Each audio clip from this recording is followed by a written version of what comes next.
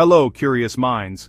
Voyager 1 would take about 70,000 years to reach the nearest star, so how could we possibly cut that down to just 20 years? That's the question driving one of humanity's boldest experiments. Humanity has always looked to the stars, but for the first time in history, we might actually reach one. In 2016 a team of scientists, engineers and visionaries, including Stephen Hawking, Yuri Milner and Mark Zuckerberg, announced an idea that sounded almost impossible. Send a tiny spacecraft to the nearest star system, Alpha Centauri, and get there within a single human lifetime. The project is called Breakthrough Starshot. The vision? To launch thousands of miniature probes, each no bigger than a postage stamp, attached to ultra-thin light sails.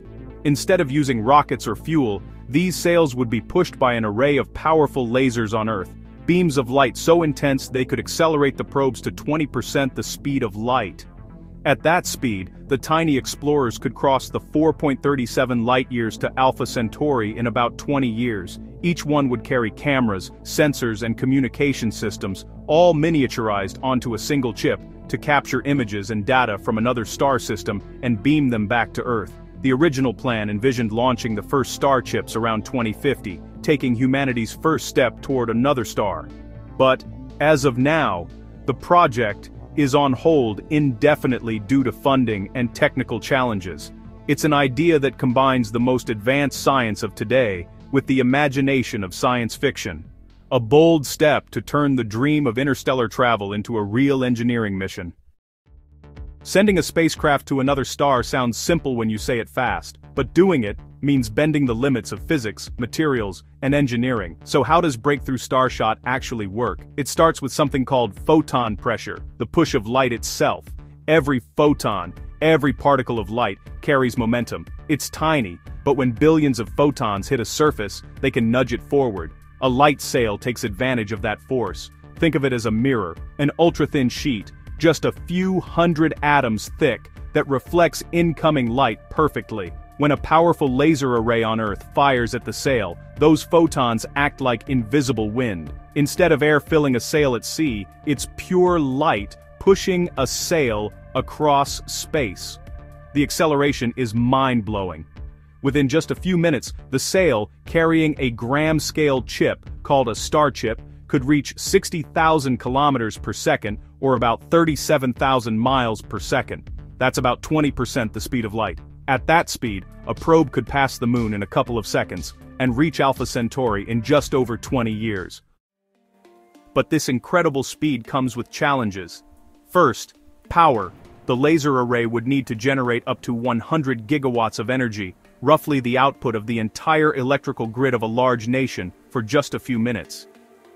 Out of that comes another challenge, surviving the acceleration. The probe is tiny, just a few grams, but the laser pushes it to 20% the speed of light in minutes. That's an acceleration of tens of thousands of times Earth's gravity. Every component must survive being slammed forward with immense force, or the whole mission fails in an instant.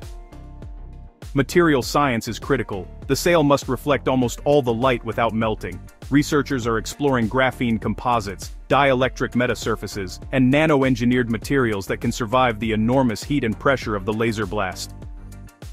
Next, cosmic hazards. Space isn't empty. Tiny dust particles, even a fraction of a millimeter across, can destroy a probe traveling at relativistic speeds. A collision at 37,000 miles per second or 60,000 kilometers per second would hit with the energy of a high-powered bullet.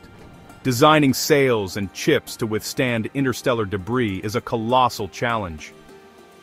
Precision aiming, the probes must stay aligned with a laser beam thousands of kilometers wide and billions of kilometers away. A tiny misalignment could send them drifting off course by millions of miles, missing Alpha Centauri entirely.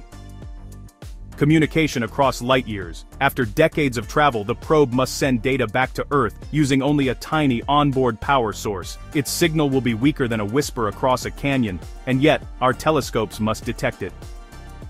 Finally, building the technology. Ultra-thin sails, miniaturized chips with cameras and sensors, and Earth-based laser arrays capable of delivering 100 gigawatts of focused energy. None of this exists at the necessary scale yet. Researchers are pushing the limits of materials, science, photonics, and aerospace engineering. Every gram, every photon, every millimeter counts. One tiny error, one overlooked risk, and the mission could fail before it even leaves Earth. And yet, if it works, each starship would be a messenger, carrying our curiosity, our technology, and our story into the stars. Breakthrough. Starshot is one of the boldest interstellar missions ever conceived, but it's far from the first. For decades, scientists have dreamed of sending humanity's emissaries beyond the solar system.